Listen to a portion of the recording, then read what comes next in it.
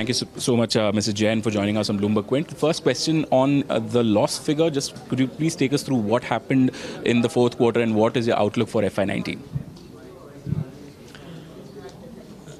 I think we need to first look into the operating profit of the bank, which come from the core business of the bank. Our strategy during 17-18 was that we have to protect our earnings despite of uh, 28% of the NPAs. I'm glad to inform that uh, we have reported operating profit growth of 71%. And uh, by excluding the extraordinary item, which was a profit a capital gain from the sale of non-core asset, still there is a 12% increase from the core business of the operating profit. NIM has been improved by 19 bips to 1.81%, and despite 28% NPA, we are able to protect our NII. The reason for losses is due to credit cost. There were certain legacy issues, and the corporate credit uh, there was concentration and that's how it has been recognized. Most of the stress book has already been recognized during last financial year 17-18 and Q4. Now going forward, there will be lesser credit cost and there will be lesser slippages during 18-19. 18-19 we are expecting in NCLT there are uh, uh, total uh, 11 plus uh, 12, 23 cases which are as per the list 1 and list 2 where we are having exposure of 26,000 crore. That will get resolved during this financial year. We have also identified certain assets to be sold out, NPA assets to be sold out or put on the sale during this financial year amounting to rupees 21,800 crore. The actual sale will depend upon the pricing as well as the timing and the appetite in the market. Fair enough. Just uh, also wanted to, uh, you know, wanted you to throw some light on some of these business reorganization plans that you have uh, laid out earlier at the press conference. Could you please tell us what uh, a little bit more about that?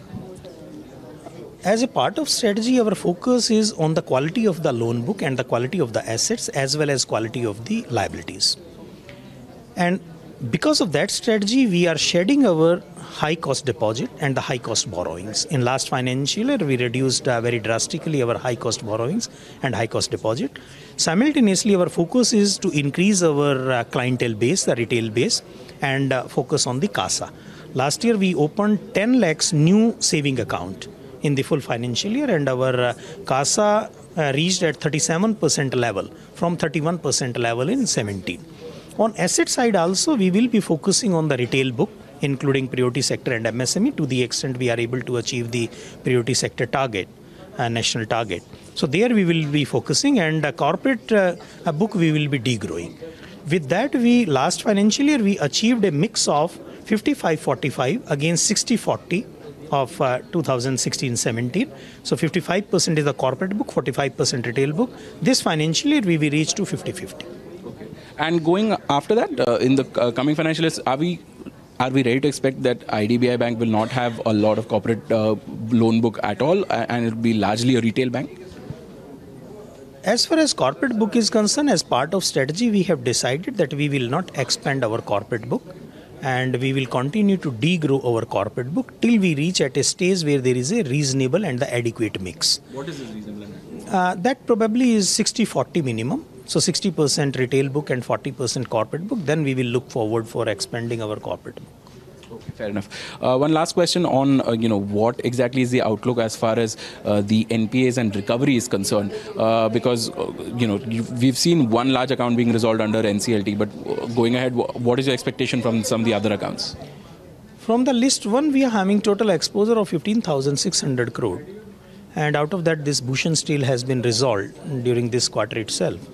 We have provided 64% provision against that uh, uh, exposure we are expecting in the range of 52 to 54 percent recovery in Q1 and Q2 in those accounts, and remaining there will be a write back of the provision. The list two, there is an exposure of around 11,000 crore, and that will also get resolved during this financial year. We have already provided for 55 percent against that book. So uh, there are also recovery expectation it is uh, premature to say any recovery expectation because many accounts have not been admitted so far and the accounts which have been admitted uh, as of now uh, the process has just initiated so we will see the market behavior in those assets and then we will be Are able some of these accounts also part of the 21,000 crore that you're putting up? Only one or two account is uh, part of that 21,800 crore, not much. Okay. okay, sir. Thank you so much for joining us. in Thank you.